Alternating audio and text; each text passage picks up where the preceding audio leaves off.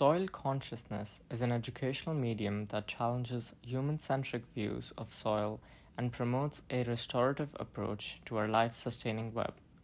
The Soil Consciousness Kit integrates both mycoremediation and Arduino and open source hardware to make visible underground interconnections. Step 1 Open the Soil Consciousness Kit, remove all the elements inside of it.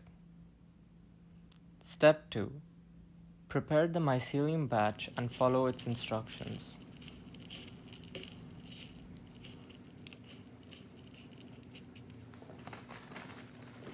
Step 3. By the third day, mix mycelium with your soil sample to be understood and put it into the pot included.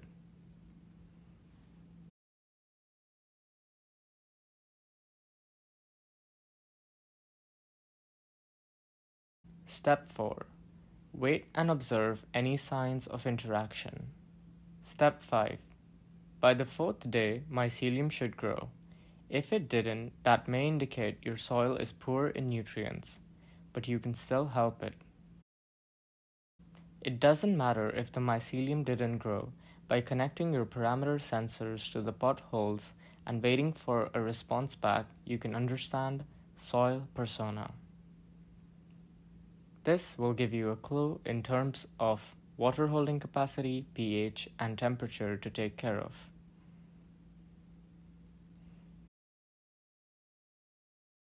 Soil persona.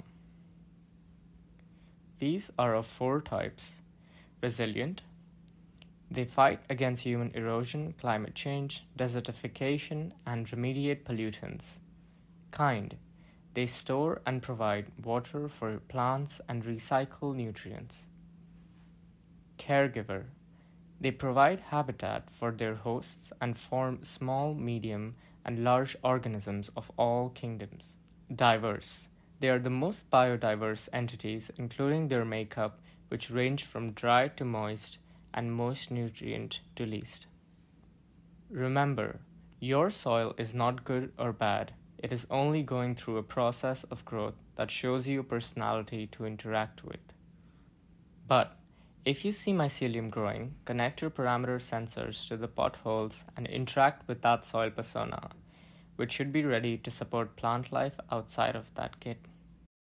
If you want to take part on a larger scale, you may find it attractive to join different soil persona from your community